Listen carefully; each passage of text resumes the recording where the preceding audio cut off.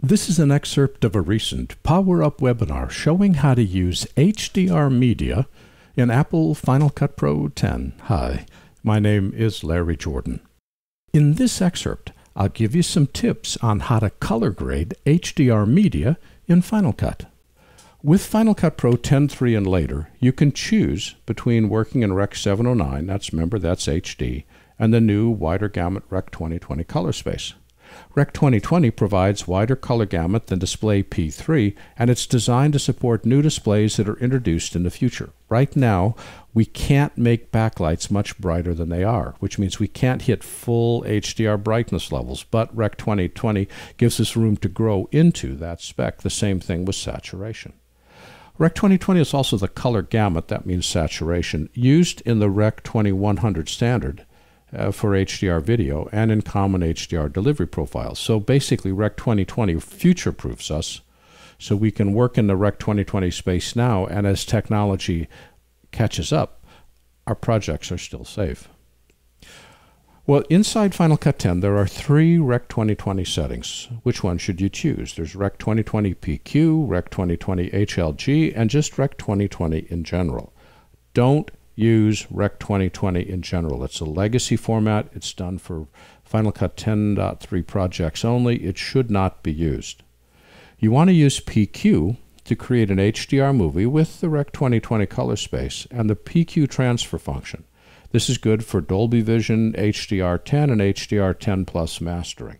So if you're going to Dolby Vision, PQ. HLG, it's, it's an HDR movie with the Rec 2020 color space and the HLG transfer function. And what HLG is, is it's backward compatible with both standard dynamic range and high dynamic range televisions, and many broadcasters like this format.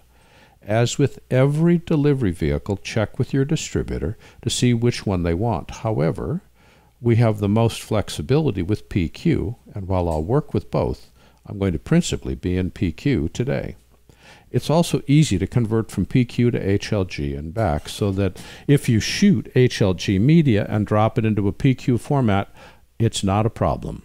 A couple of other thoughts. Because the viewer in Final Cut Pro 10 shows only SDR luminance, it is essential, and I underline that and I bold it, to use an external HDR reference display for monitoring and grading your HDR footage. You cannot color grade HDR media on a computer display. It doesn't have the dynamic range, and you're going to be making mistakes. Today, you connect this display to your Mac using a Thunderbolt video output device, for example, an AJA IO 4K. But that's a $2,000 connection box because the technology is non trivial. Also, when you're editing HDR media, it means you ignore what it looks like on your computer screen and trust what it looks like on your HDR screen. You can't color grade HDR on a computer screen. Now, I'll show you how it works and I'll give you some good looking images, but that doesn't mean they're good looking HDR images. I'm showing you how the process works. This is why the upcoming HDR reference monitor from Apple is so important. It not only gives us a new low price because HDR monitors today are in the ten to twenty thousand dollar category, but it also gives us a direct Thunderbolt connection. So the Thunderbolt and the monitor for forty nine hundred dollars is a new low in pricing for HDR reference monitors. The average computer user has no need for this, but as we shift more and more of our work to HDR, this new low priced monitor becomes increasingly important. When you grade HDR but finish in SDR, there is a major compromise between a high dynamic range video and standard dynamic range video. So the correct method is first do your main grade, then do a trim pass. So you edit your project. Your project is now complete. Picture lock sound is done. Your very last thing before final output is you want to do a color grade. You do a color grade, say in HDR. Let's say that's your main deliverable. If your main deliverable is SDR, do your color grade in SDR. If your main deliverable is HDR, do your color grade in HDR. So do your HDR color grade. Then duplicate the project. Take that second project and set it to a 709 and go back and trim your color grade. The two will not be the same. And as a note, once your client sees the HDR version, don't ever show them the SDR version because they will hate it. So be sure to show the client the one you want them to fall in love with. You're also going to be tempted in HDR to overdo your grades, but don't do that.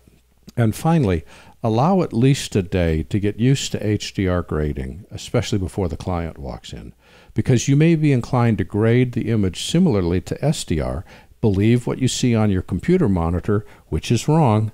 You have to believe what you see on the HDR monitor. This has been an excerpt of a recent Power Up webinar on how to use HDR media in Apple Final Cut Pro 10. For the complete version of this online training, please visit our store at larryjordan.com/store and look for webinar 273.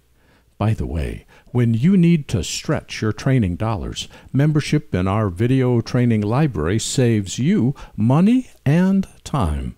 You can access all our videos for a low monthly price of only $19.99. That's more than 1,900 movies, hundreds of hours, on a wide variety of subjects.